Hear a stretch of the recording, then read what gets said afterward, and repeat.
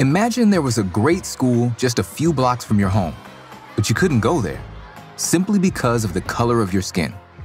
For Linda Carol Brown, the memory of traveling miles across her hometown of Topeka, Kansas to attend an all black elementary school in the 1950s stayed with her for life.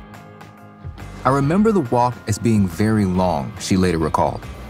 Through railroad yards, frightening and very cold. I remember tears freezing up on my face. Many times, I had to turn around and run back home. The 1950s was a period of American history that was defined by racial segregation.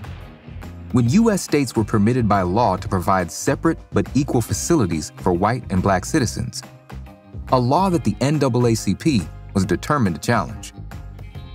In 1950, they convinced a group of black Kansas parents to attempt to enroll their children in all white schools.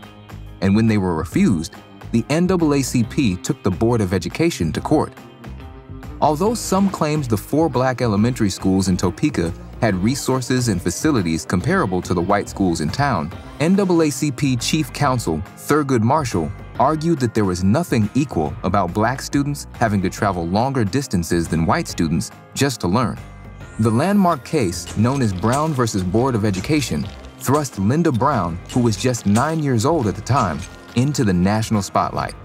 In 1954, the Supreme Court ruled that the separate but equal doctrine was unconstitutional, a decision that opened the doors of U.S. schools to students of every race, and one that inspired Brown to become a teacher and advocate for civil rights in the classroom and beyond.